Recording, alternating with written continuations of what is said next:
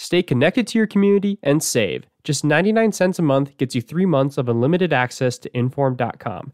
Visit inforum.com slash subscribe and get your first three months of news for only 99 cents a month. Tom Netherton starred in The Lawrence Welk Show in the 70s, became a popular Christian performer in the 80s, and declined to comment about something Kathie Lee Gifford said in the 90s. Hi, this is Tracy Briggs, and welcome to Back Then.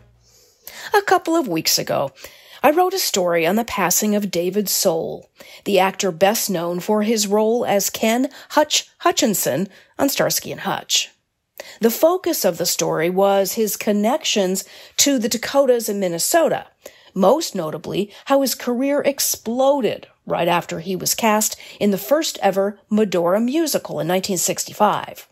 That got me to thinking about other notable Medora singers, now called the Burning Hill Singers, who've hit it big over the years. One of them was Tom Netherton, a cast member from 1972, who went on to star on The Lawrence Welk Show from 1973 to 1982. Now, while I wasn't a fan of the show back in those days, like many kids in the 70s, I just kind of couldn't escape it. It just seemed like it was always on. Like Hee Haw, Mutual of Omaha's Wild Kingdom, The Wonderful World of Disney, and of course, The Undersea World of Jacques Cousteau. Remember all of those? You see, we didn't have a lot of choices back in those days. We kids would bide our time with those shows until The Partridge Family, The Brady Bunch, or Emergency came on. Anyway, I digress. I do remember seeing Netherton sing his old timey ballads on the Welk show. He was tall, six foot five, blond, and handsome, in a white bread polyester shirt gold chain kind of way. He even looked a little bit like David Soul, that guy I'd watch on Starsky and Hutch every week. And like Soul, I thought I had heard that he was from our neck of the woods, but that's about all I knew. But like I said a couple of weeks ago, while researching a story on Soul's death, I found some previous stories written by my colleague Kurt Eriksmoen about how Soul and Netherton both rose to fame after their time in western North Dakota. I figured I could expand a bit on Kurt's work, and if you are interested in Soul's story, perhaps you'd be interested in that other blonde, blue-eyed singing cowboy, Tom Netherton.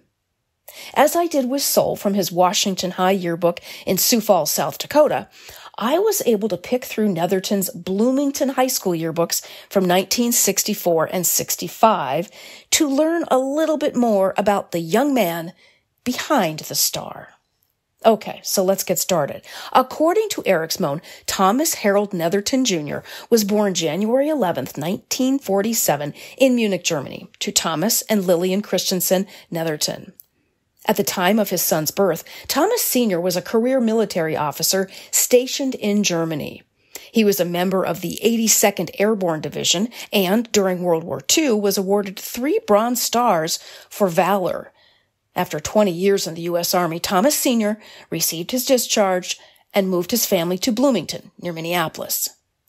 Eriksmoen called Tom Jr. shy, but in looking through his yearbooks, it's easy to see he wasn't sitting home alone in his room reading books. He was busy. Among other things, he was senior class president, a homecoming ambassador, a service club member, a Spanish club member, and a track and field athlete.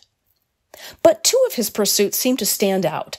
Not surprisingly, he was a theater guy. Eriksmoen tells a story of his unlikely start on stage. He said, while in junior high, Tom and his buddies dared one another to audition for the school musical production. He climbed up on stage, sang almost like being in love, jumped off the stage, and ran for home. The next morning, he was shocked to see his name posted on the bulletin board as the main lead. His leading man days continued. He starred in Brigadoon at Bloomington High. One kind of cute photo I found from his yearbook shows girls surrounding him, asking for his autographs. But Netherton also had his sights set far beyond the stage. He was active in the American Field Service, or AFS Club, which encouraged student exchanges with other countries. According to Eriksmoen, in the summer between his junior and senior years, he took part in the AFC program and lived in a small town in Peru, high in the Andes Mountains. A write up in his yearbook joked about his wardrobe of ponchos and cutoffs during a chilly fall picnic when he came back home to Minnesota. Following graduation from high school and a brief stint at the University of Minnesota, Netherton followed in his father's footsteps and joined the Army. He excelled during basic training, earning the title of Outstanding Trainee of the Cycle. Officer Candidate School followed, along with promotions to second and first lieutenant. While serving as commander of the 1542 Infantry Unit in Panama, he frequently sang for the troops, just for fun. He was good enough to be broadcast over the Army's non-military radio network, Voice of America. He also became increasingly interested in church while in Panama and declared himself a born-again Christian.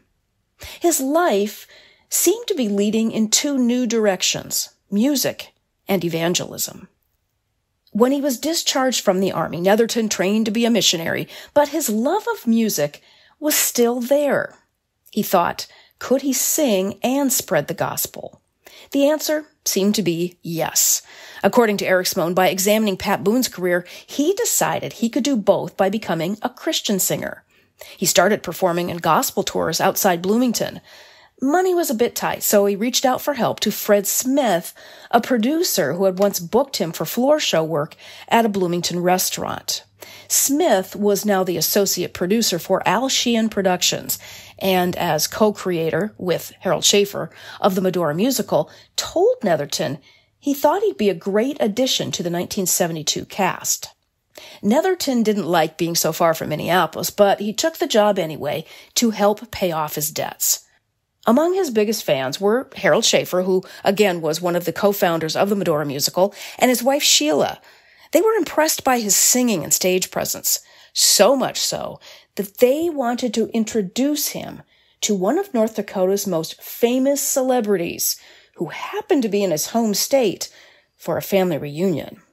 Eriksmoen wrote, Harold and Sheila Schafer introduced Netherton to Lawrence Welk at a Bismarck golf course. And a few nights later, Welk had the young man auditioning to become a regular on his popular TV program in front of an audience of 19,000 people at a show in St. Paul.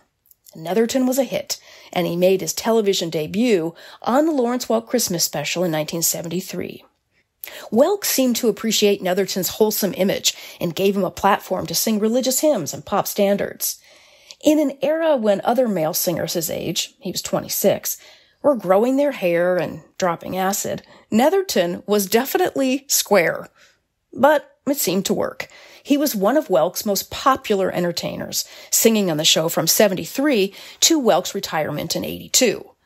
When asked about Netherton, Welk said, Tom's got a good noodle, and he's a showman. If he continues to work, I think he'll make it. In fact, I'll bet Tom could run for president. Well, he didn't run for president, but when he wasn't filming the Welk show, he traveled the nation like he was campaigning for it, performing in venues across the country. According to the Forum archives, Netherton came to Moorhead in 1975 to sing at a Concordia College C400 fundraiser and was back in the area in 1979 to appear at an evangelism rally at the Fargo Civic Center. He also became a spokesperson for Nabisco's Triscuits and Rose Milk skincare lotion. When the Lawrence Welk show went off the air in 1982, he faded a bit from the national spotlight, except for reruns of the show on PBS stations. However, by 1993, he was back in the limelight for another reason, and it involved talk show host Kathie Lee Gifford. Netherton first met Kathie Lee Gifford when she was married to music producer Paul Johnson, who produced some of Netherton's Christian albums in the 70s. They were all friends. Gifford even tried to set up Netherton with some of her single friends. And she wasn't the only one. Netherton also appeared on the dating game, but he never married. In 1993, Gifford, now divorced from Johnson, wrote about her troubled first marriage to Johnson in her book, I Can't Believe I Said That. In it, she said Johnson, quote, had lived with a gay performer on the Lawrence Welk show, end quote. Tongues wagged, and as Eriksmoen said, Kathie Lee never gave the name of the performer, but since Johnson and Netherton had been good friends, some insisted that she was referring to Netherton. Both Netherton and Gifford refused to comment on it, and eventually the rumor faded away. 32 years after he first set foot on the Medora stage, Netherton returned for 2005's 40th anniversary show. He was later honored in the Scandinavian American Hall of Fame in Minot, North Dakota. Sadly, early in 2018, Netherton got the flu and developed pneumonia. He died on January 7th at the age of 70.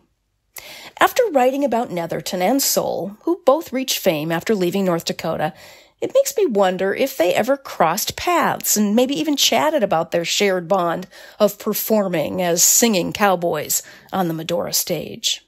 Probably not, but it's interesting to imagine what their conversation would have been like. So rest in peace, gentlemen, and thanks for the music and the memories. And thank you for tuning into Back Then. I hope you join me again next time. Get reliable and accurate local news with InForum.com. InForum.com is your trusted local news source with journalists dedicated to keeping you informed about what's happening in your community. Visit InForum.com now.